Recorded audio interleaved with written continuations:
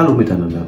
Wenn ich an den Tag der Begegnung denke, dann bin ich auf der einen Seite recht wehmütig, fast traurig, dass sowas gerade nicht stattfinden darf. Sowas abgefahren, vielseitig, universelles mit so viel krassen Aktionen und tollen Menschen auf einem Fleck an einem Tag. Und auf der anderen Seite bin ich sehr dankbar, dass ich sowas schon erleben durfte und zehre von der schönen Erinnerung an den Tag der Begegnung.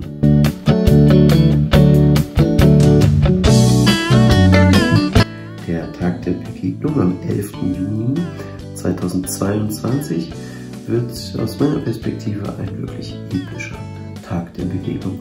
Weil wir sind auf der einen Seite, glaube ich, die privilegierteste Generation, die jemals gelebt hat und gleichzeitig auch, denke ich, eine, haben wir eine Mentalität des Jammerns und Meckerns oder ich erlebe oft, dass viel geklagt wird, ohne wirklich zu leiden, statt zum Beispiel zu nehmen an denen, die äh, gar nicht äh, klagen, obwohl sie viel leiden. Und denke, deshalb dürfen wir das wirkliche Begegnen, das wahrhaftige Begegnen wieder ganz neu zu schätzen wissen, nachdem wir so lange darauf verzichtet haben. Und deswegen wird, glaube ich, der Tag der Begegnung 2022 am 11. Juni ein ganz, ganz besonderer, auf den ich mich freue.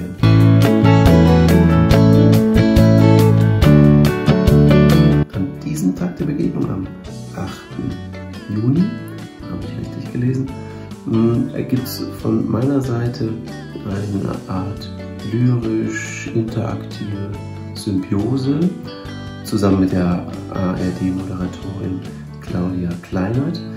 Und zwar gibt es Texthappen aus meinem Buch Steh auf Mensch, kein Resilienzratgeber, was uns stark macht, wo es natürlich Dinge zu lesen gibt oder wo wir was davon hören über Klassiker wie ähm, Hoffnung, Dankbarkeit und Glaube, aber auch vermeintlich noch unbekannte Dinge oder nicht so populäre Dinge wie Disziplin, Langmut, Sanftmut, die Fähigkeit loszulassen.